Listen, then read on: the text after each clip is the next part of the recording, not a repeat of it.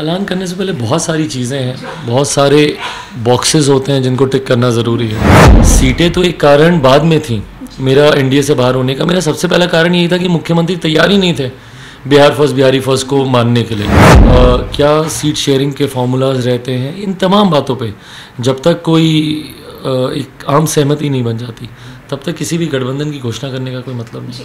चिराग पासवान की तेजस्वी से नजदीकियों के बीच बीजेपी के बड़े नेता व केंद्रीय गृह राज्य मंत्री नित्यानंद राय ने उनके आवास पर जाकर मुलाकात की है। इस मुलाकात की तस्वीरें खुद चिराग पासवान की पार्टी के तरफ़ से जारी की गई है। तेजस्वी के बुलावे पर चिराग पासवान इफ्तार पार्टी में राबड़ी आवास गए थे। उसके बाद बिहार की राजनीति में चर्चाओं का बाज़ार गर्म हो गया था। उसी दिन देशवा न्यूज़ से एक्सक्लूसिव बातचीत में चिराग ने कहा था कि गठबंधन का फैसला किसके साथ होगा ये चुनाव के वक्त मैं तय करूँगा। ऐलान करने से पहले बहुत सारी चीज़ें हैं, बहुत सारे बॉक्सेस होते हैं जिनको टिक करना ज़रूरी है। मेरा बिहार फ़र्स्ट बिहारी फ़र्स्ट बहुत महत्वपूर्ण विजन डॉक्यूमेंट है मेरे लिए। मुझे पता है कि विकसित बिहार बनाने की नींव है वो। उसको कौन एक्नॉलेज करता है, उसको कौन अप्रिशिएट करता है? कि 2020 में भी सीटें तो एक कारण बाद में थी, मेरा एनडीए से बाहर होने का। मेरा सबसे पहला कारण यही था कि मुख्यमंत्री तैयार ही नहीं थे। बिहार फ़र्स्ट बिहारी फ़र्स्ट को मानने के लिए। वो सात निश्चय पे ही काम करना चाहते थे और मैं मानता हूँ सात निश्चय से बिहार का विकास नहीं हो सकता। नली गली बनाने से किसी प्रदेश का विकास हुआ है जो हमारे प्रदेश का होगा? नली गली तो बेसिक ज़रूरतें हैं वो आपको वैसे भी करनी है।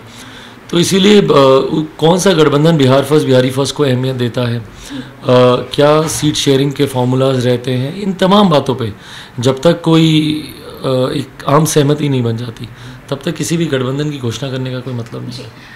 बताया जा रहा था, चिराग बीजेपी के साथ जाना तो चाहते हैं, लेकिन गठबंधन से पहले उनकी कुछ शर्त है। जैसे सीटों के तालमेल को लेकर पहले बातचीत फाइनल हो जाए और दूसरा, एनडीए से पारस की विदाई। लेकिन बीजेपी लगातार इन मांगों को इग्नोर कर रही थी। ऐसे में चिराग ने तेजस्वी का न्योता स्वीकार कर बड़ा दाव खेला, जिसमें बीजेपी फंस गई। बीजेपी को बिहार में एक मज़बूत गठबंधन की ज़रूरत है। जिससे वह नीतीश तेजस्वी की जोड़ी का मुकाबला कर सके। ऐसे में नित्यानंद राय ने चिराग से जाकर खुद मुलाकात की है जिससे ये माना जा रहा है कि बीजेपी किसी कीमत पर चिराग को खोना नहीं चाहती है। Bureau report Deshwa news. सिर्फ़ खबर दिखाना देशवा न्यूज़ का मकसद नहीं। देशवा न्यूज़ की कोशिश है कि समाज की सूरत बदलनी चाहिए।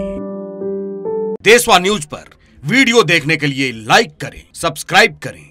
साथ ही बेल आइकन दबाना न भूलें।